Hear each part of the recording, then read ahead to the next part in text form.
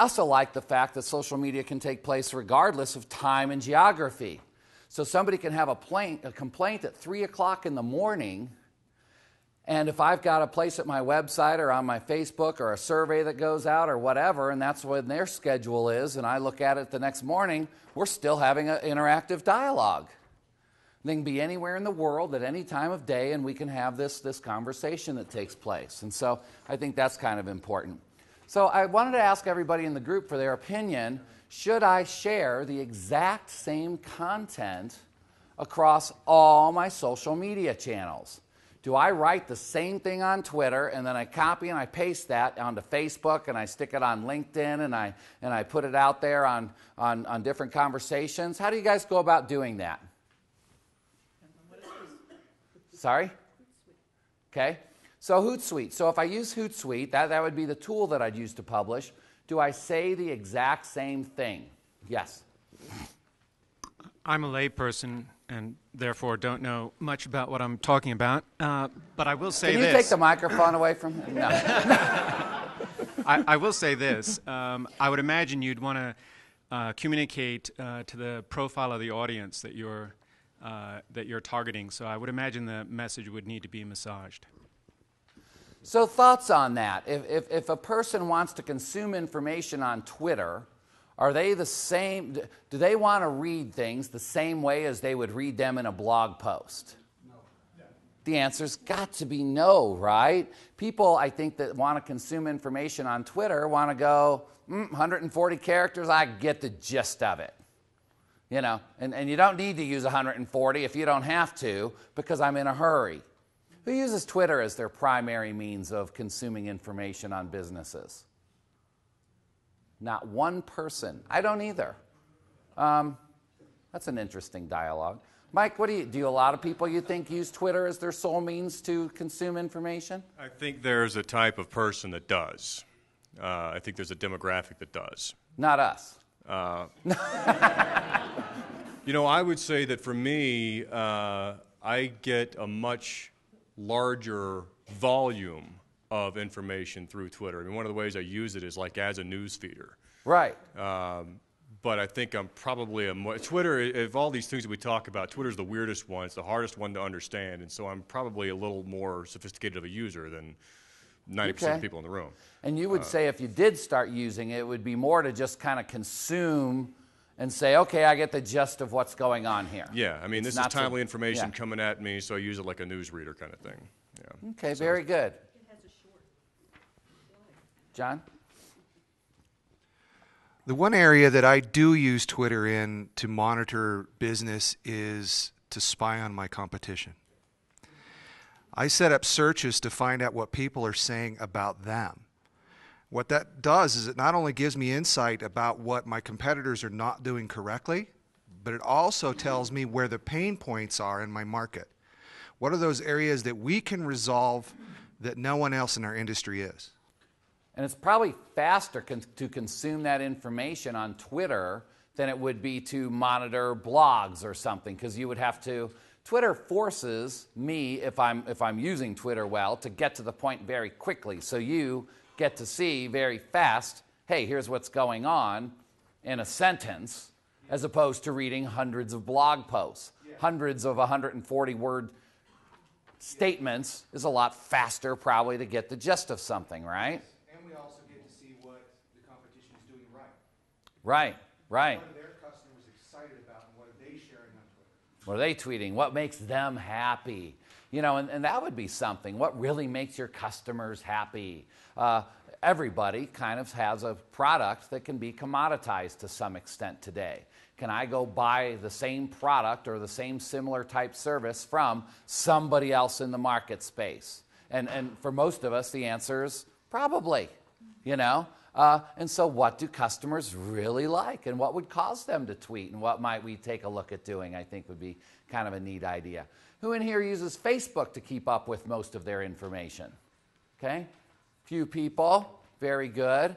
Um, who in here sets up uh, RSS feeds to go out there and read industry blogs and things like that? Okay? Uh, even more people. Uh, and then Google Alerts, I'm not going to throw out because that's not really a type of medium. That is, that is an aggregator of those different types of medium. So I, I, guess what I wanted to kind of say is I think as you're creating messaging, you've got more leeway to write more. Twitter's probably the, the shortest, and then it expands out from there. But I do agree that you should always think about who the audience is, what they want to get from that specific medium, and what message you want to get across, and change that message based on the medium that you're writing for, and probably the desired result that you want to achieve, right? Yeah. Well, if you're a small business with very limited resources, which most of us are, mm. um, you probably ought to pick one and get really good at it, and then move on to the next one instead of trying to spread yourself too thin and master all of them, because each one is complex in its own way. So let me ask you this. This is a great question, I think, because I thought of it. But, um, but, but would it be better not to share your, to your point, would it be better to say, I only use, I don't know, pick one, you know, Twitter, or I only use Facebook, or I only use LinkedIn, and this is where you have to follow me? Or would it be better to not do such a good job, but make your information available across those different channels so that your, so that your target audience could, could consume it there? I think you can have a presence on all of them. Okay. In terms of focusing your, your daily efforts or your weekly efforts, probably would behoove you to focus on one if you have limited resources. Very good. So I'm in here and I'm using this well, but I'm also making it available to these other places, but in, in quite a bit less time frame, right? Yeah. I agree. Yeah. Wouldn't it be good to t- know your target market? And if your target market's in one, that's where you want to put your emphasis. Okay, very good.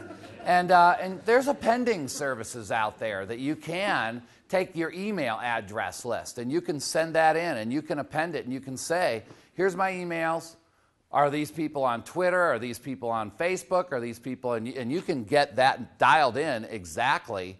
Uh, and, and I guess where I see variance a lot of times, our clients will say, well, you know, we're a law firm. We don't need to be on Facebook and we don't need to be on Twitter. We need to be on LinkedIn because that's where everybody is. And for any business to believe that none of their clients use Facebook to consume information, I think is crazy. I would, I would almost say I'll give you a $1,000 if you've got more than a 100 clients and you're going to tell me that nobody that you do business with uses Facebook, and I'll bet you. I mean, that adamant about it. People use these tools, they're out there. So, at least making your content available. If you want to follow me that way, we're posting it and we're doing it and we're having it out there. But I hear that all the time, you know, oh, our clients don't use that tool. Come on. I just have a question. Yes. Did you say, excuse me, did you say, $1,000? No. no. Did you say that um, if you have a list of email addresses, that you can figure out which medium they are using? There are appending services that do that. So if you, you know, if you're large enough and, and, and, can pay that, you know, you can go out there and you can send in the email list and it will say, here's all the social media networks that these things are on. Yes. I'll get more information about that and put it up on our meetup. Because, uh, yeah, you can figure that out real fast. You don't need to survey people. You can just append it and say, okay, the email mat- matches this, this, this, this. Now, the problem with a match like that is you don't know their level of engagement. They might have set up a Facebook account one day and never been back since. So, but it would give you an idea that they do have access to that information. Um, the company that I work for, we we thought about being on Twitter, and uh-huh. we were like, should we be on Twitter? And we decided that we did not have the resources at this time to give people what they expect on Twitter. They expect an instantaneous customer service response, and we said we we can't do that yet. So we monitor twi- uh, Twitter. We see what people are saying. We respond with you know accounts and stuff, but we do not have an official Twitter account because we are not yet ready to give that kind of stuff, and there isn't enough of a demand for us to have that resources dedicated to that yet. Isn't that interesting? So I'm standing here saying it doesn't matter if you have an account or not. You have to know if people are doing things. Now, when you tweeted, you didn't go to the company's Twitter account. You just said it to the world, and they said, We're here, we're listening, yeah, we'll do it. Okay, very good. Huh, yeah. pregnant pause there. Um, does it, has anybody had any um, workings with the Talent Me on Facebook as of yet? That just apparently came out as a new app. I got an invite to it this morning.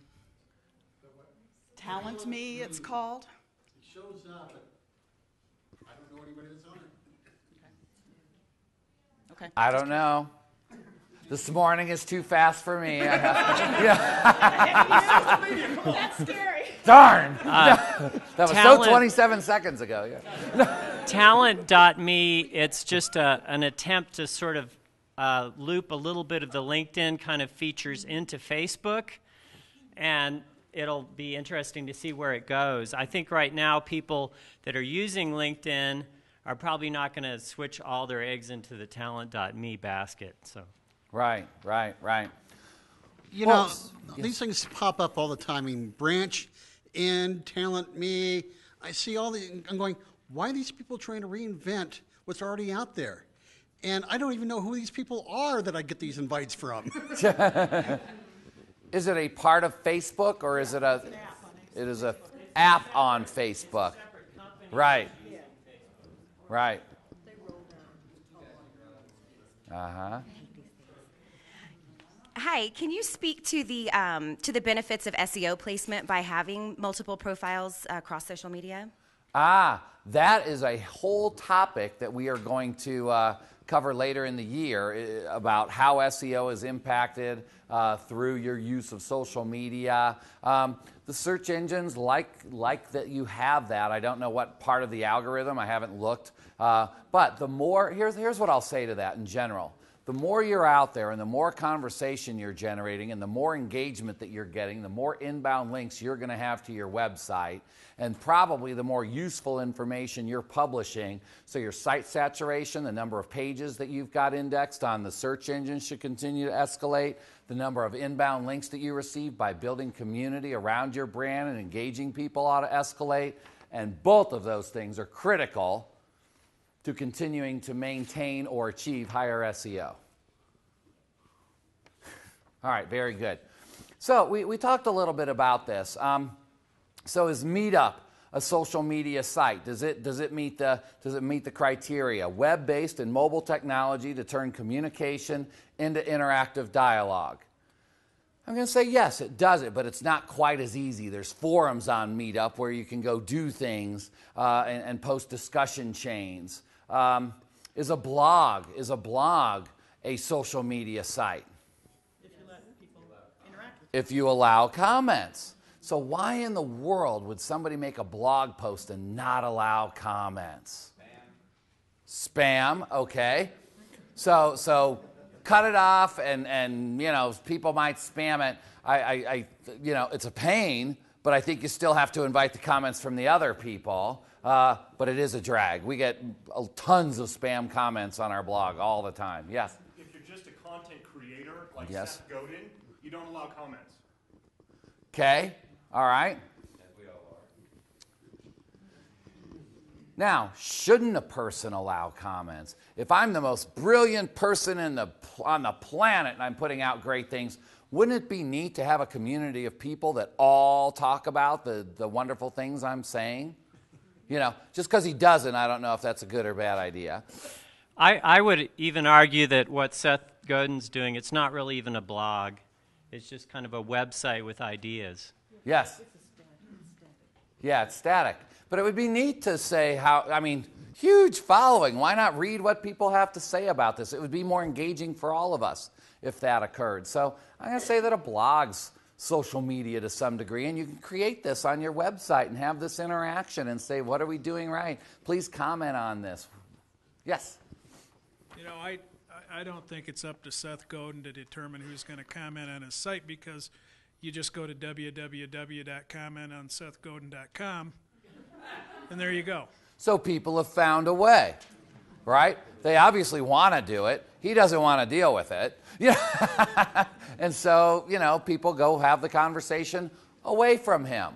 And that might be okay for him. He's doing all right, you know? You know, I feel like not only do I try to market to my clients, but I also have to market directly to Google.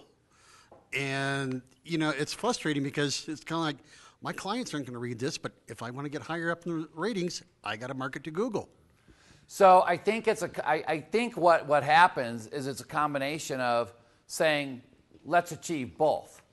Let's have good communication with our clients, but let's be aware of how it's going to get the most penetration out there uh, and score the highest, right? And that is a necessary evil. If I'm shouting in a cave, hey, I can be shouting the greatest thing in the world. If nobody hears it, it doesn't matter. So there is that, that catch 22 to some degree.